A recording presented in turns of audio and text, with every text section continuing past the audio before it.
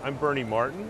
We're here at Modern Industries talking about the mPower Speed Lock work holding system, mod lock, tombstones, and some of the features of modular work holding at IMTS 2014. This is the SpeedLoc system from Modern Industries, the mPower product line.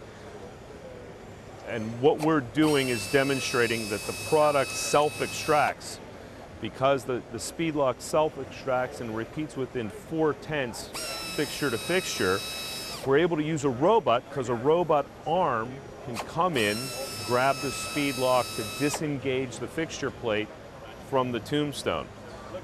Again, the self-extraction part of this is probably the most important aspect of the SpeedLoc. None of the other systems on the market do that, hence you can't use a robot.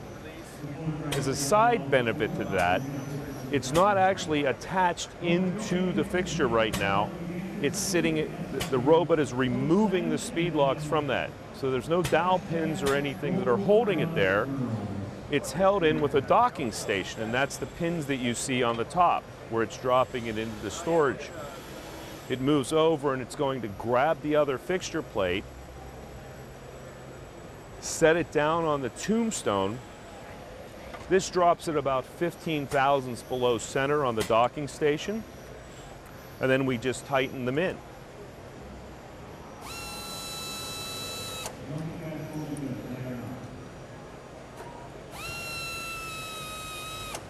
Now what's also nice about the SpeedLoc is that a variety of fixturing methods, whether it's hydraulic or pneumatic, can also be used within the system. The, mod lock tombstone that you see here has all the hydraulic connections or pneumatic connections or magnetic connections internal within this tombstone. It's a hollow tombstone technology in that it's all supported with an exoskeleton. The fixture plates are what give it the strength.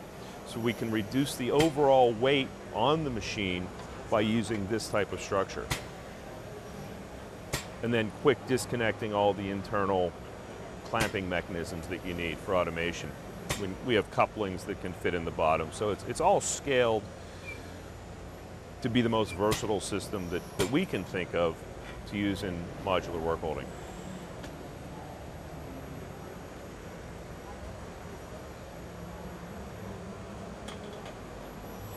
And here you'll see the internal components.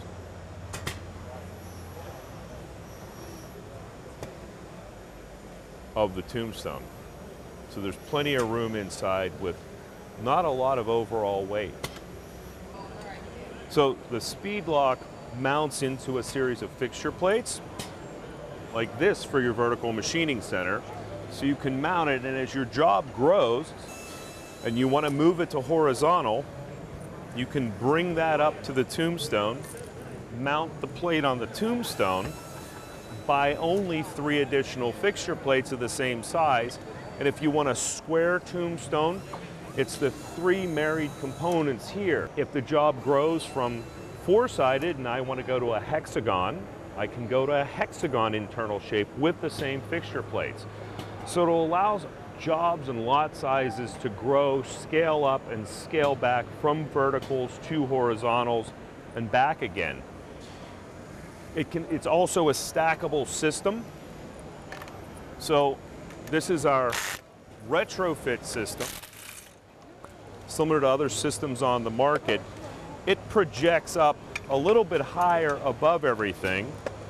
And this is our compact locator system that's flush mount. Now to put these in, there's no dowel pins or anything. It's built with a docking station.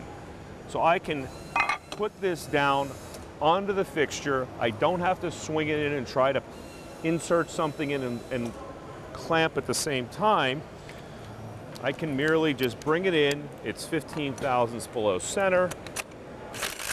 Now it's within four tenths repeatability. What we found is with a lot of machinists who view this for the first time, who have thought to bring a fixture plate in on a crane, located on the dowel pins, when we set it like that, they tend to get very excited that the docking station does what it does. It's also a hollow tombstone technology, so if we wanted to convert this T-style tombstone to an L, we just move the mounting over to here and it's versatile. It's also, a, it's got a window in it so we can machine through to the other side if we needed to. And that, that becomes kind of important if you're doing something like this. This is our spin lock and it allows you to come in without any wires, engage it with the tool holder, the tool holder in your machine tool spindle on a horizontal, and index it five degrees. So you can do now five sides of a six-sided part. Six if you come through the middle of the hollow tombstone.